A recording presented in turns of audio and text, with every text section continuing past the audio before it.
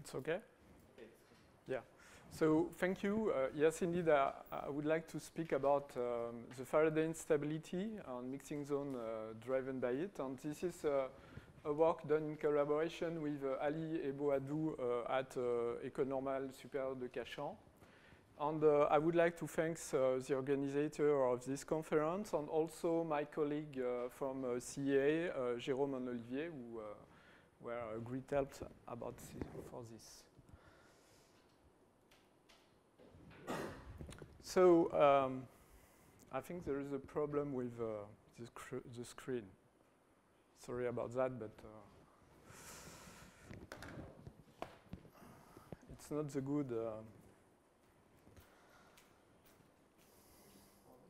yeah, uh, there is the bottom missing with uh, this.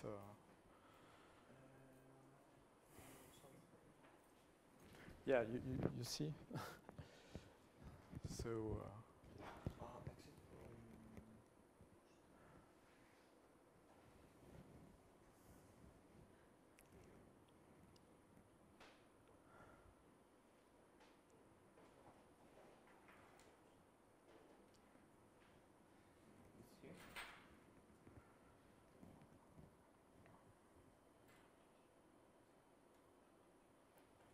No, you, when you put the presentation, uh, you okay. oh, okay, this one is, uh, yeah, thanks. Sorry about that. Okay, so uh, let me first uh, introduce you uh, a little bit about uh, the Faraday instability, which has been discovered for a long time at the end of the 19th century. So it consists in applying an acceleration vertical to the interface which is oscillating. So here is the expression for the acceleration. You have a G naught, which is the mean acceleration. And uh, you have uh, uh, the oscillating part, which depend on F, which is the forcing parameter, on omega, uh, the forcing frequency. So uh, by convention, um, if uh, f equal to zero, you have a stable fluid, which means that uh, the acceleration point to the bottom, you have a light field on top of uh, EV fluid. So uh, it's stable, so you don't have instability if f uh, equal to zero. So it can be encountered in many, many applications. It has been studied a lot. you can do yourself an experiment by spinning on a glass uh, water glass, uh, uh, you, can, you will excite Faraday instability um, in the water. it is well known because it produces a lot of fascinating structure, and it has been studied to, to look at phase changes in the shape here.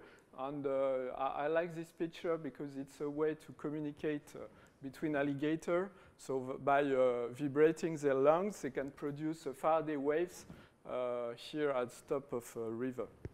Um, so this is a classical problem uh, which is uh, studied, the linear analysis use Floquet decomposition.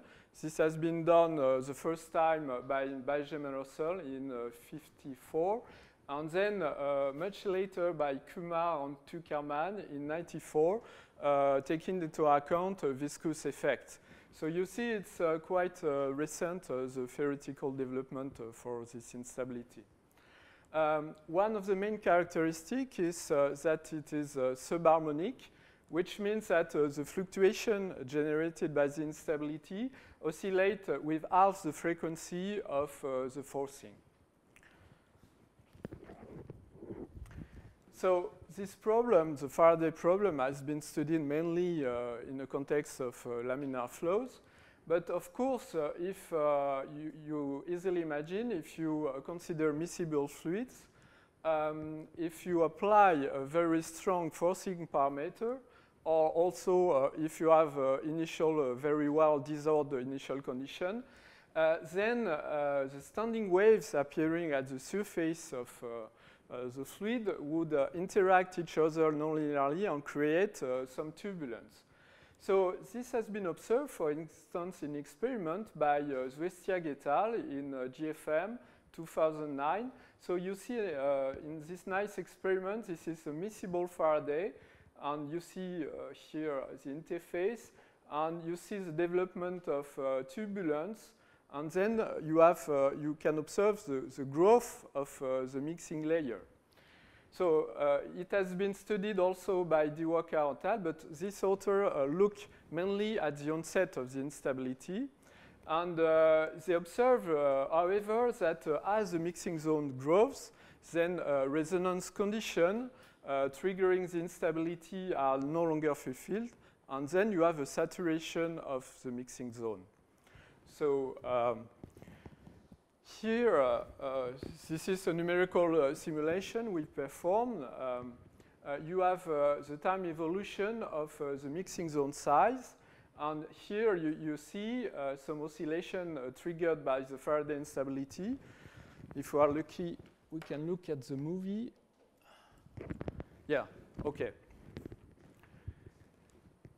So, so you, we have to wait a little bit, but if you pay attention, then you see the oscillation due to Faraday. You have oscillation of the mixing zone. Um, it's a subharmonic uh, instability here. And then you have uh, the enlargement of uh, the instability and the saturation. So the question, uh, which is very simple, I would like, like to address in this talk, is can we predict here the final size of uh, this mixing zone? Okay.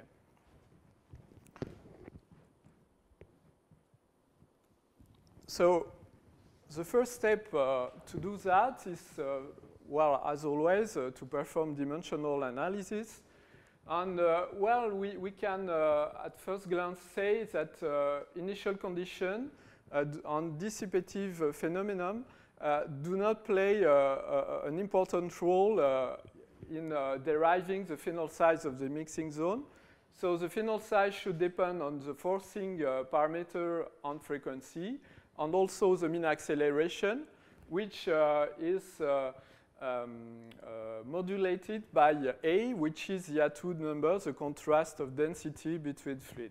So we obtain by no dimensional analysis this ex simple expression which depend on unknown uh, function j as a function of the uh, forcing parameter.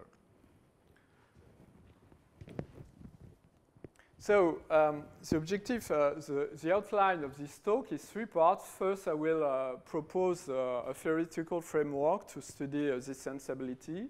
Um, then uh, it leads to a system uh, in order to understand how gravity waves interact with the main density profile.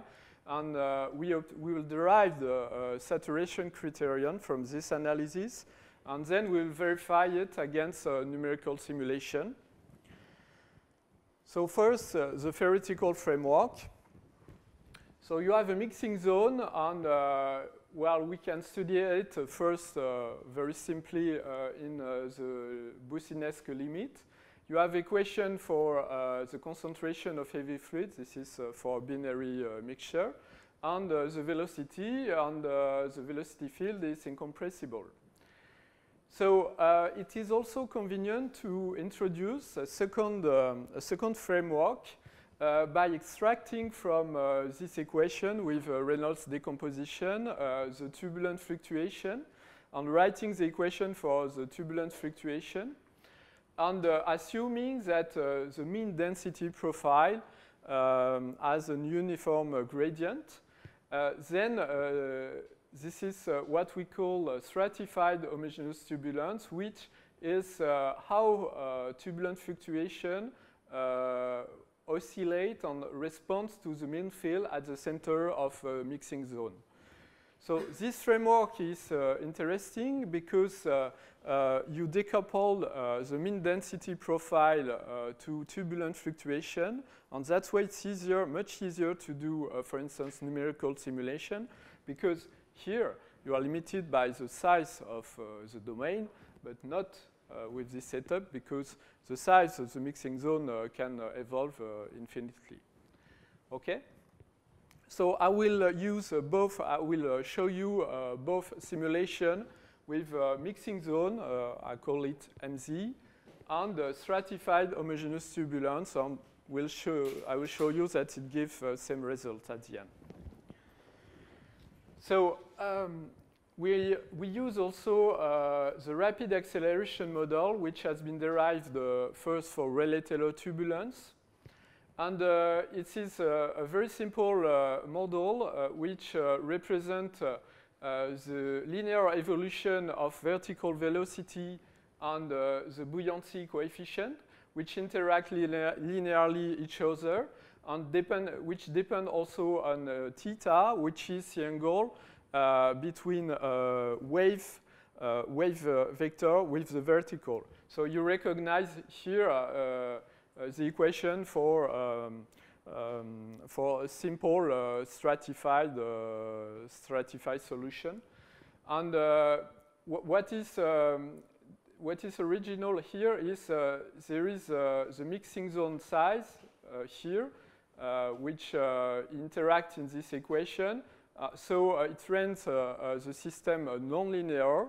But in short, uh, this is a rapid distortion theory, uh, this equation, which are, has been first introduced by Hanazaki Hunt in uh, 96, and the equation for L, which is the equation for uh, an approximation of uh, the mean gradient. So we think it's interesting to study this system because it's nonlinear, and uh, it will give us some clue how how the mixing zone evolves and how it will saturate at the end. So if uh, I work a little bit on this equation, I can put it on this form, which is a second order differential equation for uh, the buoyancy parameter, uh, which, uh, which is uh, nonlinear because uh, you have the size of the mixing zone here, but also you have an infinite set of this kind of equation, which are Mathieu equation. And I will consider this system as a, description, very rough indeed, of how gravity waves interact uh, with uh, the mean density profile. So here is my system, uh, which is nonlinear. And uh, well, the first, uh, the first step is to understand how the stability, the linear analysis of this system. So if we do that, then uh, the size of mixing zone does not intervene uh, in this system. And I obtain an infinite set of Mathieu equations depending on the angle theta, 0p. Uh, and this is uh, what have been studied uh, by Benielli and Sommeria in 98. And this is the stability um, of a stratified flow excited by parametric instability.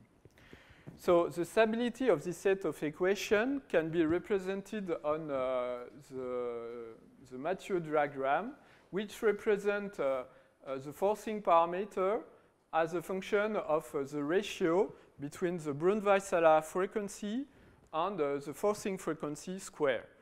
So here you have a different tongue, uh, instability tongue corresponding to subharmonic and harmonic instability. And uh, in this problem, uh, it is interesting to see what you trigger uh, in this representation for uh, a fixed uh, mixing zone size.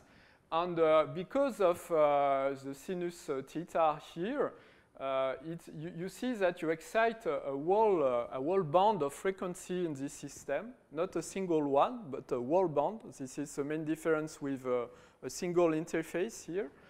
And uh, well, of course, uh, you say, for instance, uh, in this example, even if uh, uh, the, the, the, most amplified frequency are stable here, uh, you have a, a, band here which is unstable. So you would, you would say that this system is unstable.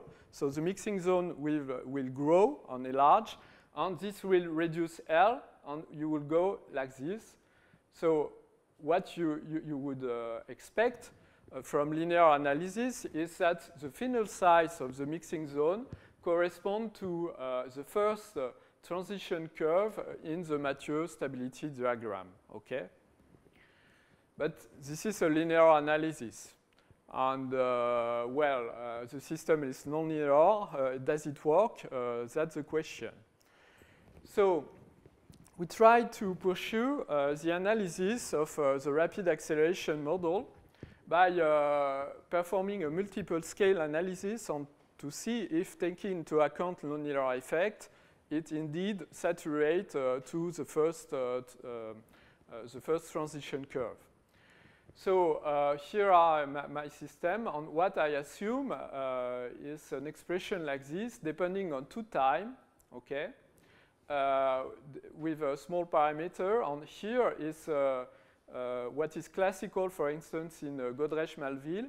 I assume a weakly nonlinear system by supposing that the perturbation is close to the first subharmonic perturbation. So uh, using steepest descent method, I can obtain a solution uh, for that.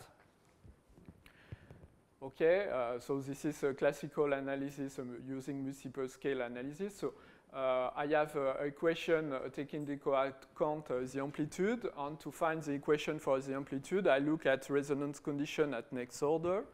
And what I obtain at the end is uh, this relation, which corresponds indeed at taking into account weakly nonlinear effect, it indeed saturates to the first transition curve uh, in this method. So I will skip all the detail and uh, uh, go directly to the verification of the saturation uh, criterion, which is then we, I, I, I say that the mixing zone will saturate to the first transition curve. So we worked hard by uh, doing a lot of uh, numerical simulation. And here, uh, this is an example with stratified homogeneous turbulence. And uh, well, we perform at least uh, more than 250 uh, numerical simulation in DNS to explore the, the phase space of initial condition. And so um, uh, this diagram, uh, you, you, you, see uh, the stability tongue, the instability tongue here. the small, the small symbols correspond to initial condition, and the final source of the mixing zone correspond to the big symbols. And you see that mainly you saturate uh, to uh, the, the, theoretical prediction, which is uh, the first transition curve of the mixing zone.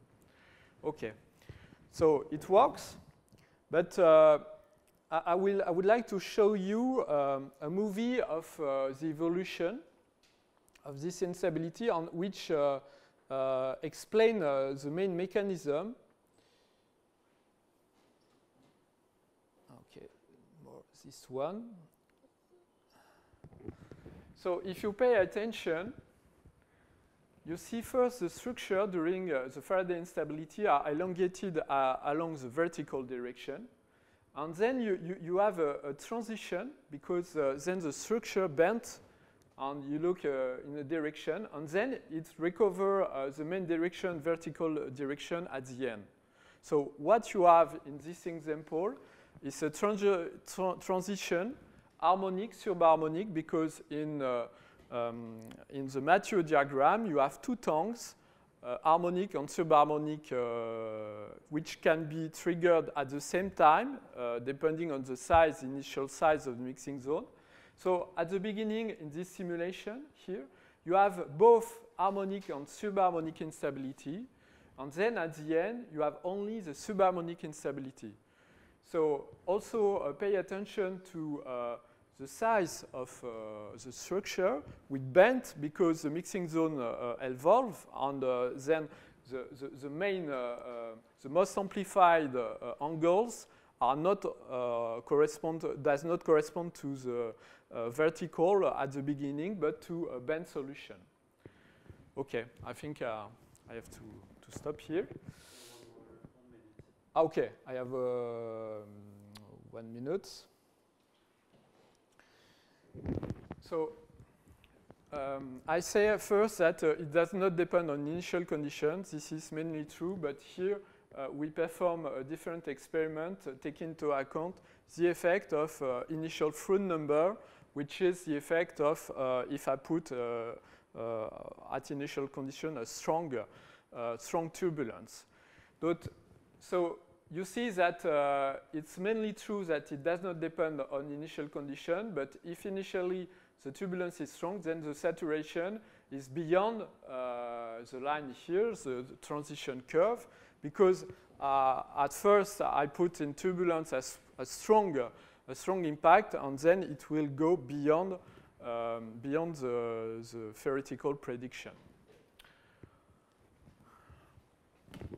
Let's skip to the, the conclusion. So we perform a weakly nonlinear analysis um, describing interaction between gravity waves and uh, mean uh, density profile. We derived the saturation criterion uh, for uh, mixing zone driven by Faraday instability. And we, we verified the prediction of uh, saturation uh, over 300 mixing zone simulation. And we, we found a nice harmonic subharmonic transition to which is um, which is coherent with uh, the, uh, the, the, theory derived uh, in, this, in this problem. Thank you for your attention.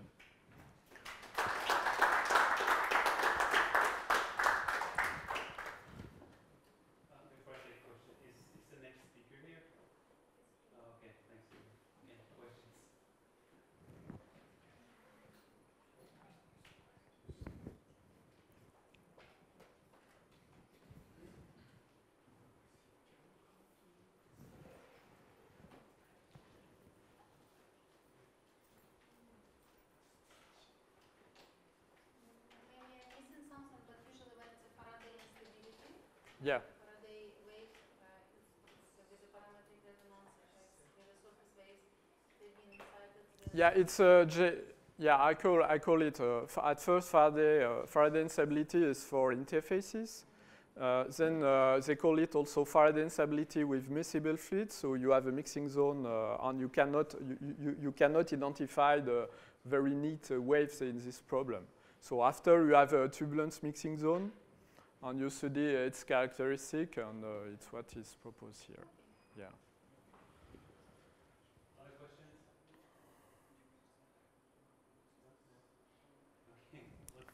Okay.